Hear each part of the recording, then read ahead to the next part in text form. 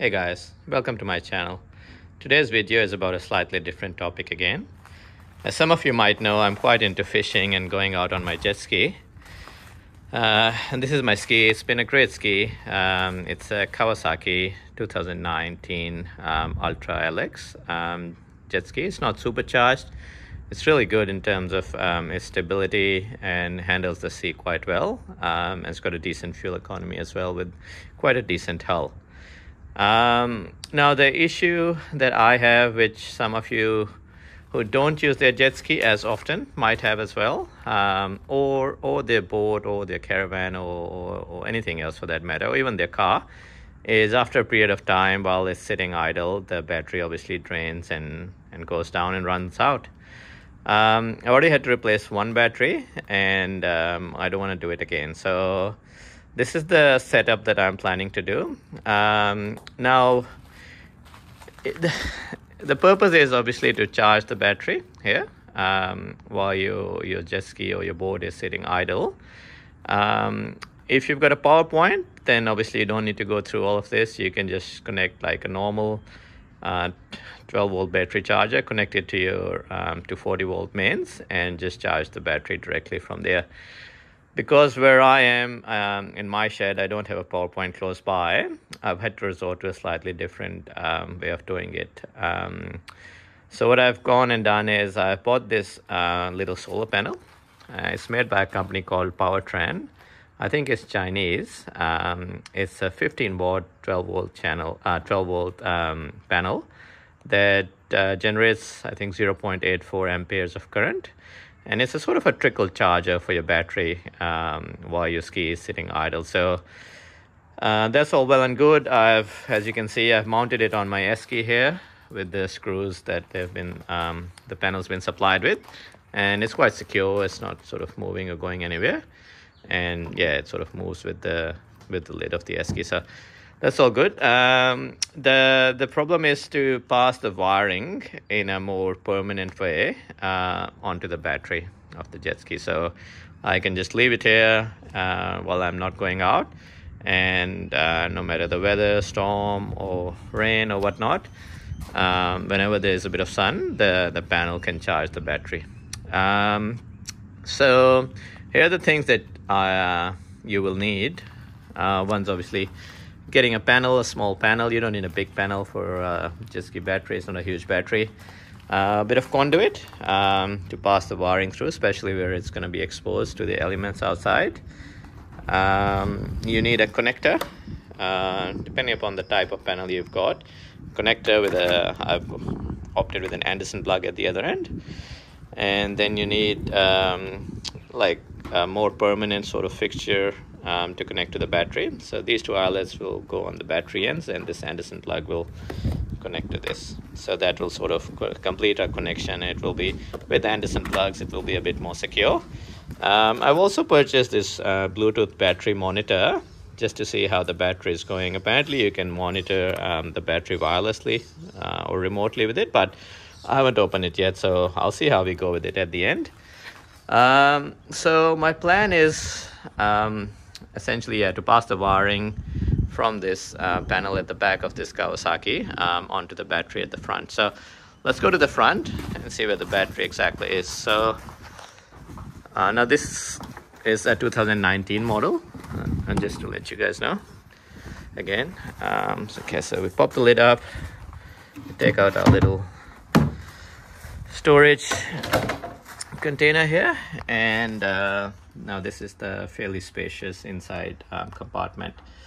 Inside uh, probably needs a bit more of a clean but um, you've got these two little um, lids that come off. Um, now they're held by little scrivets. Um, I've taken out most of them. I just left a couple just to sort of demonstrate to you how they work. So in these models these scrivets are the center push type. I don't know if you can see it or not but essentially you've got to get a flathead screwdriver and just um, push the center compartment and then the screw it comes loose and then you take it off same thing with the other one so this one at the bottom now it's not secure so I can just take it off with my hand uh, so you take this one off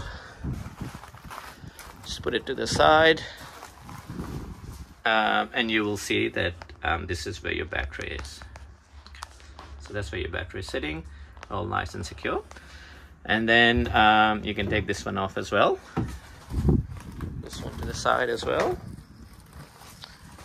And you will see that um, this is the, the part that communicates to the inside of the jet ski where the motor is. So next step would be to just go and remove these seats. So just popping it up here and just moving it and taking the seat out. It's the back seat. And then just, popping it here again, taking this bit out. This is the front seat for the uh, front two passengers. So we'll just put this one to the side as well. And now you can get to the the main sort of engine compartment of this jet ski. So uh, what I'm planning to do is pass the wiring um, connected to this cage here, which is actually quite a handy cage I bought from Brisbane Kawasaki when I got the jet ski. It's got fishing rod holders and it's obviously you can um, put an esky there as well. And you can hook it to this this clamp on the back of the ski. So anyway so my plan is to pass the wiring uh, probably sort of zip tie cable tie bring it around here and then run it around here and then just pass it under the seat and then as you can see there's a couple of little grommets here. One's this one um, the other was this one which I just removed from that hole earlier. So take this one out and I think I can pass the wiring through this hole uh, probably without enlarging it. And that will allow me to get inside this um, this engine compartment here. And then I can just pass my wiring through here all the way down um, to that, that section at the front which is which is this section here. Um, and then I can yeah I can hook it to my battery. I might even be able to take it out through one of these holes actually. Uh, well not these ones. They're for the screws um, see this hole here? Now that's already been there from factory. So I probably may need to just enlarge it a little bit. Um, but it just communicates to the engine compartment there.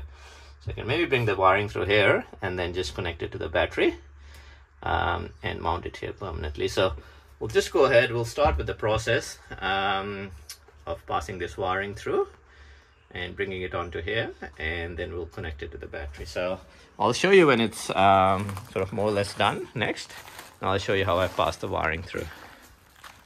Okay guys so here we are. Uh, I'm all done with the with the connection and uh, it seems to be working fine. So I'll just show you again uh, what I've done.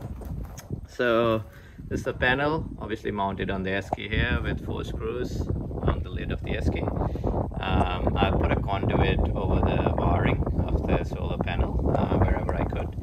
So conduit here connected to this um, this frame carrier and I've just sort of uh, secured it with cable ties here and moved it to um, up until here. Now I made a slight change in plan instead of bringing it here under the back seat and making the hole bigger I just been able to um, tuck it under here pretty securely. Uh, so there's a tiny little space here, uh, which is enough for one single small cable. I think this is a 2.5 millimeter square cable, um, and it's just it's just tucked in here under this um, plastic sleeve here.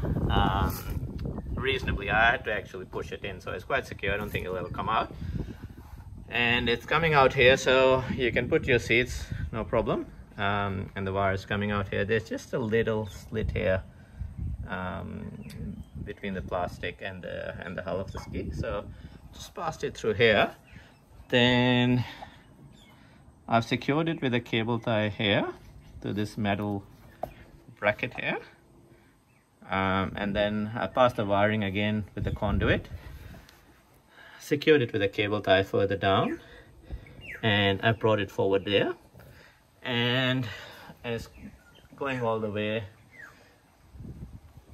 through this loop here and I brought it back here. So it's going under this bracket and it's coming back up and it's secured with a cable tie so it doesn't move.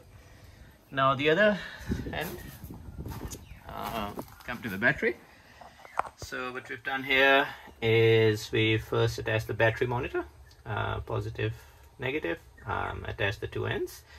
Uh, so this is a 12 volt wireless Bluetooth monitor um, that I picked up from Autobarn today as well. I'll put the links to everything as I said earlier uh, in the description section. So attach the battery monitor to the battery, um, secured it with an adhesive tape to the strap that goes here on top of the battery to secure the battery so it doesn't sort of move anywhere. So this is secure.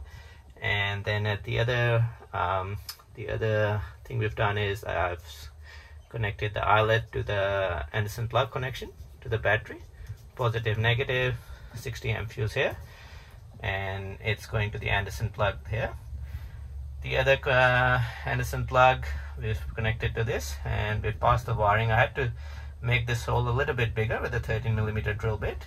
So this is the hole I was talking about earlier. I passed the wiring um, of the bead with the Anderson plug at this end and the connector to the solar wiring at the other end through here. I had to take these off the Anderson plug to pass them through, but that's fairly easy to do. So pass them through here, through this hole, and brought it into the engine compartment. And this is the wire that's coming from the front there. So I've secured it to um, this metal bracket with a cable tied to it so it doesn't move. So both the ends, this is the end that's coming from the solar panel. This is the end that's coming from the battery now. So they're nice and close to each other and when you need to attach it, you just disconnect them. So um, let's move on to this app. I'll just get onto my other phone. Okay, so that's what um, Okay, that's what the app looks like. You can download it from App Store. It's called BM2 or Battery Monitor 2. So just click on it, and it actually shows you the. Um, I was connecting now, so so select the type of your battery. This case would be a 12 volt lead acid battery. Wrong notifications. I know. Okay. So tells you the exact voltage of the battery, the battery status. Um, it's got a few other things as well you can configure from the app. I haven't really gone and done that.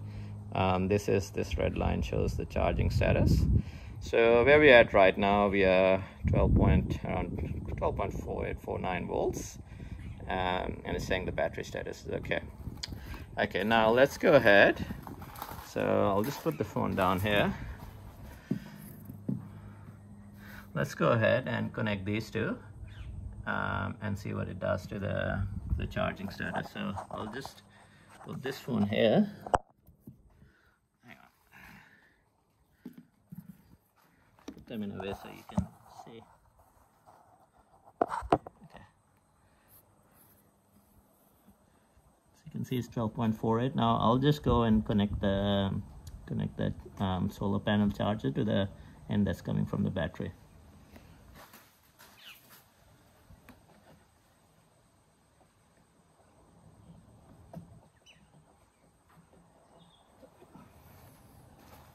okay I made the connection and as you can see as soon as we do it it shows that the voltage going up which means obviously charging. So this is what I've done here. I've, I just connected these two. And over here you can see it's charging. Even though I'm not fully in sun right now so see where I'm at? I'm actually in a shed and I'm only getting a small amount of sun. And this uh, panel as I said earlier generates only around 0.84 amperes of current. So doesn't generate a huge lot of current. It's more like a trickle charger which is which is nice and fine because that's all you need just to maintain your battery while it's parked and not being used in your ski. Um, and yeah there you go it's working. So it just keeps going up. So that's it guys. Um, yeah so fairly uh, simple sort of easy way um, to make sure that you you can use the same principle on a on a boat caravan jet ski whatever um, to make sure that the battery doesn't run out. This one um, is on my Kawasaki 2019 Ultra LX uh, non-supercharged jet ski. Um, and this is this is how I've done it. Um, I'm sure there's other ways to pass the wiring. Um, you could probably use other panels as well but for me I think this panel is is sufficient and it seems to be doing the job um, quite well so it's up to 12.885 volts now so so there you go guys um, just a way to keep your battery from running out your jet ski. I mean, it looks more or less, it feels more or less like a permanent sort of a secure connection to me.